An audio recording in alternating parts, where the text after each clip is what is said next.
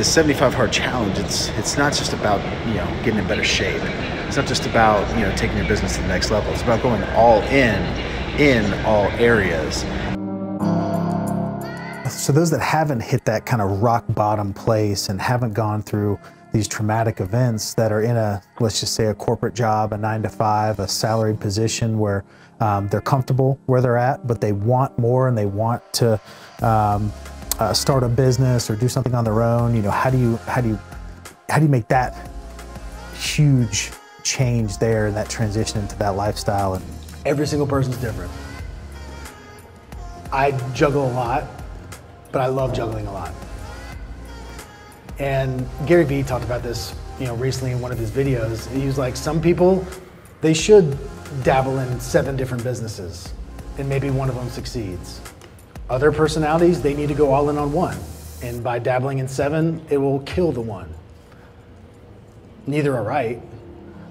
And so it's just looking at your personality and where you feel most comfortable. Like if you're got all these things going on, but like that's like like you're in that flow state, like you're operating at a high level because you have a lot of different things going on and you just love being in that type of environment, that's exactly what you should do.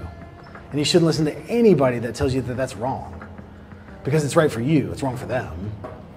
But if that's not you and that's stressing you out and it's causing, you know, again, stealing your capacity, then you need to figure out which of those things are the most important, which of those things are actually bringing in revenue, which of those things are actually serving you, and just focus, narrow in on that. The majority of people, it's all about time allocation. So any time that I have allocated to my career that I'm having to take away from to spend it on this personal branding or the social media or whatever you want to call all this other stuff, there has to be a give and take. Like I'm taking time away from here, I have to have monetary value come from here for me to look at that as a good equation for me, my mentality is I'm going just all in here so that I don't have to replace it there. I don't just attempt things. I don't just go after things. Like when I go all in, I go completely all in.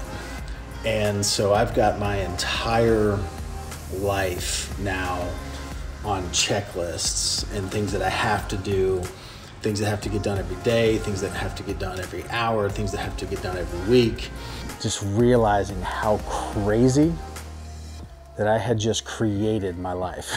like, like how crazy I had just elevated the, the hustle, uh, elevated the activity, elevated the just sheer exhaustion. I think it was like midnight or something in that video. And I was just like, you know, we're sitting here still recording. You know, just got the episode up, uploaded and you know, here I got a Facebook Live to do after this, Instagram Live, this, this, and this, and this, and this. It's so funny now, you know, 37 episodes later, that this is insanity.